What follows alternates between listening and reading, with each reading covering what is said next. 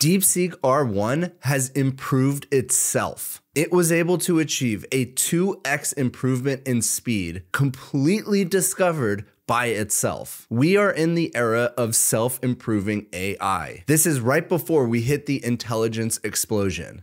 Do you remember this graph? I've shown it quite a bit. At the point at which AI can reach PhD level intelligence and actually discover new knowledge, that's the point at which we have recursive self improvement and hit the intelligence explosion. We are here now. The O1 model, the O3 model, DeepSeek R1, these are PhD level intelligence models, and they are starting to recursively self improve. The second incredible discovery that I'm going to show you at the end of the video is by another team, which was able to achieve the aha moment from the DeepSeek paper for just $3. Just a few days ago, I posted about a PhD from Berkeley who was able to achieve the aha moment for $30. We now have a 10x reduction at $3 to achieve the aha moment, that learning moment from the DeepSeek R1 model. So I'm going to show you both of these right now.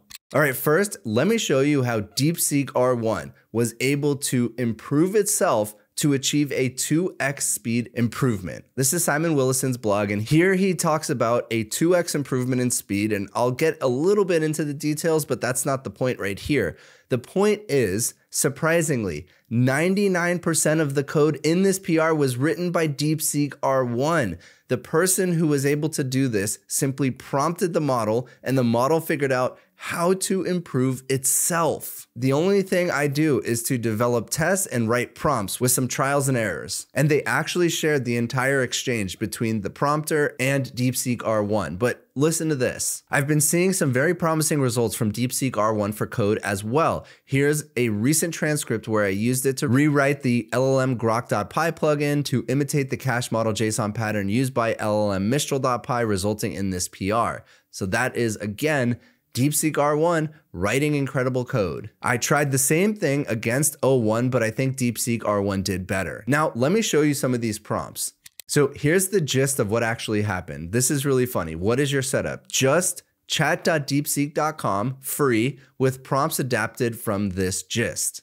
I'm going to link this down below. And according to this person, it took around three to five minutes per response. So it really did do a lot of thinking. And here is the iterative loop that this person used with DeepSeek. So basically the problem description, what you want them to accomplish. Then here is your last failed attempt, improve from this, and then paste the last generated code here. So Here's prompt number one. Your task is to convert a given C++ ARM Neon SIMD to Wasm SIMD. And basically what this is doing is improving the way that parallel processing works with the ARM chip architecture. And so it is given a bunch of existing code, which you're seeing here. I mean, this is hardcore code. And then here's the function that you need to convert, and it gives it a bunch more code. And you must start your code with, there it is. And here's prompt two. And with these prompts, the model was able to look for optimizations to run itself faster. Pretty amazing. And here's another example by the same guy where he basically gives a prompt, some code, and says improve. And you can actually see the chain of thought here. So, okay, I need to implement the same pattern as Mistral. First, looking at the Mistral code, there's a function called refresh model. So for Groq, I'll do something similar. And then at the very end, we have the code and it worked.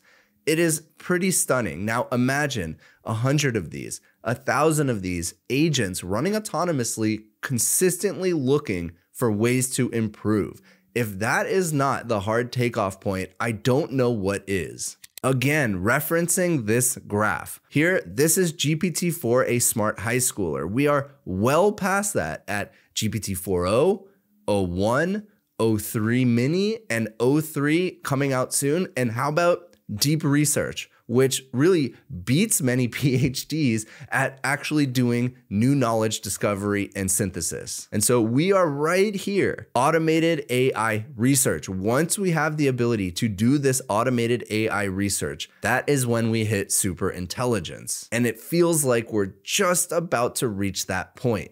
Now, I'm a little bit conflicted because some of the smartest people in AI say that this takeoff is not going to be an instant overnight thing. It's going to be more gradual than that.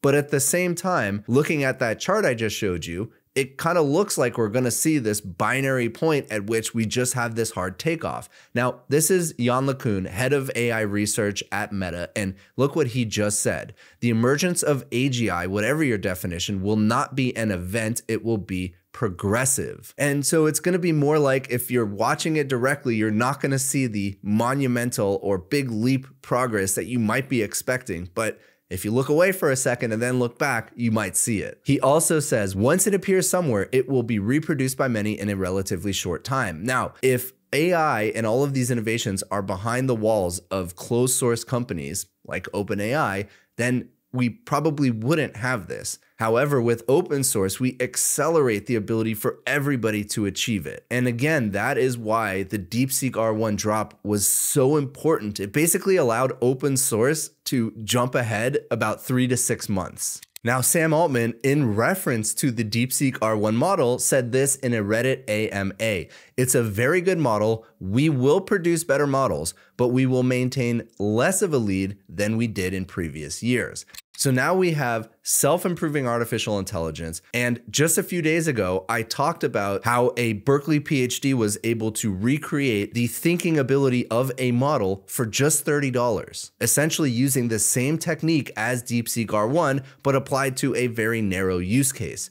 And now we have another example by another team who is able to reproduce that aha moment for just $3. And this was less than a week later. This is Liang Chen, and he says, excited to introduce R1V. So this is using the exact same technique as the Berkeley PhD and as DeepSeek R1. We use reinforcement learning with verifiable rewards to incentivize VLMs to learn general counting abilities. That is the key, reinforcement learning with verifiable rewards. So it works incredibly well when you have a very well-defined reward function. That means that there has to be a known answer to whatever the question or the problem is. So 2 plus 2 equals 4. But what's your favorite color does not have a defined answer. It is just opinion. So there's no way to use reinforcement learning on that. That is why these techniques work so well on STEM, science, technology, engineering, and math. All four of those categories have a defined input and a defined output, a question and an answer. And you can train the model to know when they're right and when they're wrong. And this is where you get the emergent behavior of thinking. And you could do so on a tiny model in a very narrow use case for just a few dollars now. And it's completely open source. So I'm gonna drop this link in the description below as well. So look at this. 2 billion parameter model surpasses the 72 billion parameter model with only 100 training steps, costing less than $3. The project will be fully open source. So it is specifically just a counting ability. Now, you might think, okay, well, that's pretty basic. What good is that? But imagine this it seems like the direction we're headed is to have a ton of these very small, very, very small models with a core base intelligence. And it seems like the minimum seems to be around 1.5 billion parameters. And then they are all using this reinforcement learning with verifiable rewards to get good at one particular thing. And then imagine you had a model router that chose the right model in the moment based on your prompt. That is possibly the future that we're heading towards no more massive generalized models, or maybe there will be, but it's not going to be the only way to achieve this. It's really taking these tiny models that anybody can create from open source and then building on top of them and making them really good at these narrow use cases. And so here are the results 100 steps. They took the 2 billion parameter model from 53% accuracy on this counting problem all the way up to 99%. Basically perfect, beating the 72 billion parameter at 94%. This is pretty amazing. And here's the open source project right here. You can play with it yourself. You can try it yourself. By the way, should I do this? Should I make a tutorial video on training one of these tiny models to be really good at one thing and trying to elicit that thinking behavior from a tiny model? Let me know in the comments. Now, here's the vision of what they're trying to accomplish with R1V. We are building a general framework for RLVR, so that's reinforcement learning with verifiable rewards in VLM. And so imagine just being able to take this off the shelf and apply it to any model you want and any use case you want as long as there is a verifiable reward. So there it is. Everybody in the open source community was now able to see what worked so well for DeepSeek R1 and reproduce it, innovate on it, extend it, and that's the power of open source. If you enjoyed this video, please consider giving a like and subscribe, and I'll see you in the next one.